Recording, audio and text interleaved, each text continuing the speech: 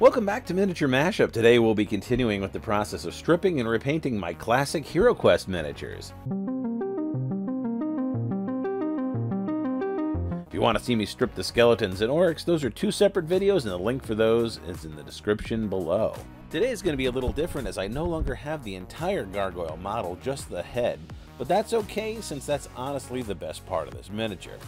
I know it's a classic, but the original body is low detail, strange proportions, and dated sculpting. I want to see if I can't bring back some of that first edition Warhammer Bloodthirster energy with some kit bashing using Games Workshop bits, and some other stuff too. So let's start by putting my bits on the table so you can get a good look at them. I've got the head of our gargoyle here, I've got a destroyer HeroClix for our body, I've got an undead shield, and I've got an orc choppa, which I'll be choppaing up to use as a piece of our new gargoyle. Cut the wrist off of our uh, Hero Clicks destroyer armor and taking the helmet off. Technically, it's just the helmet, as this is sort of enchanted armor and not a. You guys don't care. I don't know why I'm going into detail about a character from the Thor movie. I'm gonna pin that Orc Choppa on there. So as you see, I've got a little pin vise going in and I'm scraping any mold lines off of the shield. I'm going to trim the other hand down so that undead shield will fit on there. There's some spikes on top of the hand that don't need to be there and the hand's a little fatter. Dropping that gargoyle head into a can of acetone, swishing it around, pulling it out, cleaning it with a toothbrush. It's pretty good. There is a little bit of caked in white paint in the eye that I just pick out with a tweezer nice and gently. Try not to mess the plastic up in there. But when it's done, I get about 99% of that paint off there. Then we're going to drop the destroyer into the acetone and just clean his butt up with a toothbrush. Something I like to do with myself if company's coming over.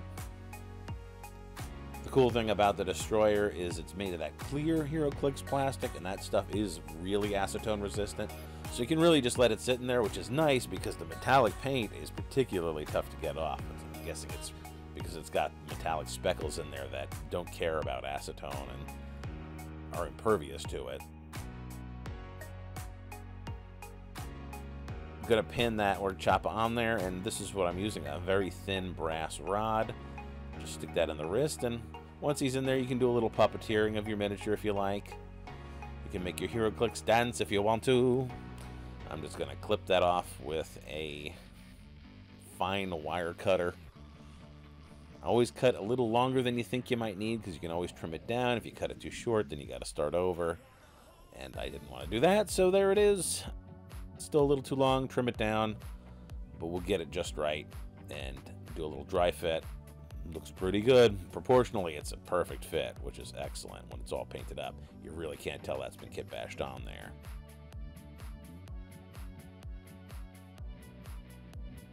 Other than the fact that it is, you know, an orc weapon, what is clearly not a Games Workshop model. And I'll be uh, shaving down the feet on this guy just to make him fit a little better onto his base because they are kind of rounded and it is a sort of smooth plastic. I also like to shave my own feet so I can fit in a little better. It's just sort of a social anxiety thing I deal with. I'll be roughing up the top of the base with this Dremel tool here, just scuffing it up a little. Again, you know, rougher surfaces tend to bond better with adhesives. And the adhesive I'm using is actually a $40 tube of industrial adhesive from Whirlpool that I got at the thrift store for 50 cents. Don't mind bragging about this. Stuff's kind of excellent. And if I ever catch this again, grab it. If you see something like this, grab it. You're certainly not going to want to pay the price for it brand new, but if you can see it, get it for a bargain. Do. It's very good stuff. Just be careful of the fumes. I'll be using that same adhesive to put the shield on no pinning necessary for that. I got such a good fit on that hand and such a good adhesive. And I'll be dropping them down on the base, and I'm going to let that sit for a little while and cure before I really do anything else with it. Use that same adhesive to put the chopper on, by the way, the chopper. and also the same adhesive to put this cork onto the base, which is really probably overkill. I usually just white, use white PVA glue to glue cork to uh, plastic, but you know this is a little stronger, and why play around? Although I will bust out the white PVA glue to adhere our craft sand, which is just acts as our flock. It's pretty good, especially when you're using a bigger mini like this. I think it has a nice look, and you know the price is right. Lots and lots of footage of me dropping that on. Now let's get some sand on this beach. That is one sandy beach.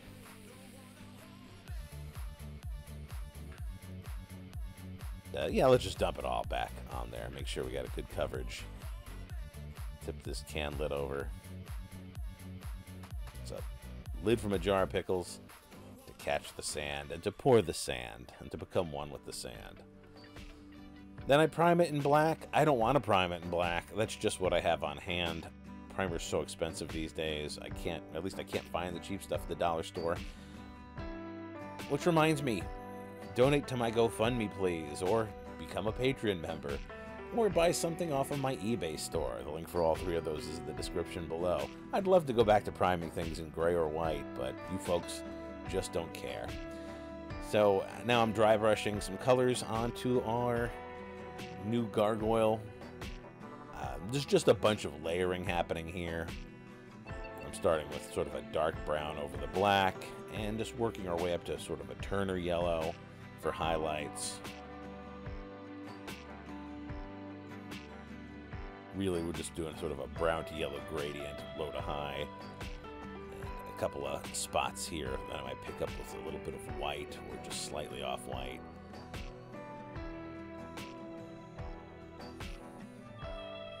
There isn't a ton to narrate here as I'm just sort of painting. I start from the inside out, just doing the body. First, sort of the fleshy bits, and then now I'm putting in the shadows with some brown washes from Games Workshop. Probably that sepia wash they have, or it might even be Nuln Oil. Actually, I think it was Nuln Oil because this is already such a dark model getting inside that mouth, getting inside the eyes. Like I said, we're just going to do this section first, as the colors are the same, and it's all kind of one thing. Just picking out the detail before we begin on what is kind of his armor, kind of raised sections, his weapons, his shields, things like that, the helmet. We'll kind of get those all together because those I also do in their own color scheme, which plays off nicely. Got this sort of yellow off purple will be our palette for this project.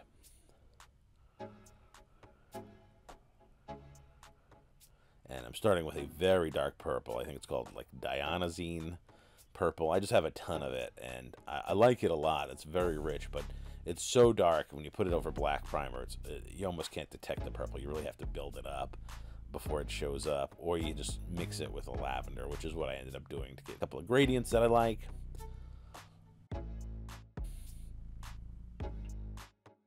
He's got these sort of striped, armored, studded things going down his legs and arms, doing the base of those in the purple. And I'm bringing the studs out with a little bit of a white undercoat before I color them in to sort of match the rest of him. I think it's a pretty good effect. His base, of course, is going to be a brown and then a cinnamon and then uh, some highlights dry brushing with Turner Yellow. And the shield is just sort of a series of purples and light blue dry brushing. A little bit of a dark blue wash for the shadows on that. Now the axe I wanted to get kind of a molten effect. I pull it off okay. It's a little too textured to do well and smoothly. There's a lot of recesses to work around. I mean, I'm sure somebody who's a better painter than I could nail it, but I think I did all right. To start with, I put a white undercoat because trying to build any kind of a gradient over black is a headache.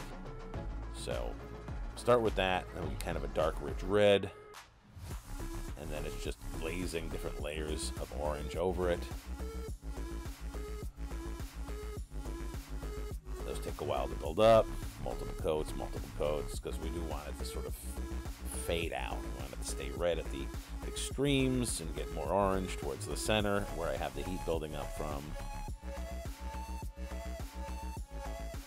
Again, those glazes tend to be very thin, and so it started to pool in the recesses, which isn't a bad effect because the on something like this, you kind of want an inverted look as the light is coming from the inside. So if you get those resource, resource ugh, if you get those recesses lighter, that's fine. And I'm just putting some dark brown on some of the raised bits. Guys, how'd it turn out? What do you think? Does it look all right? As always, thank you for watching Miniature Mashup. I hope you enjoyed this video, and I hope we can see you again soon.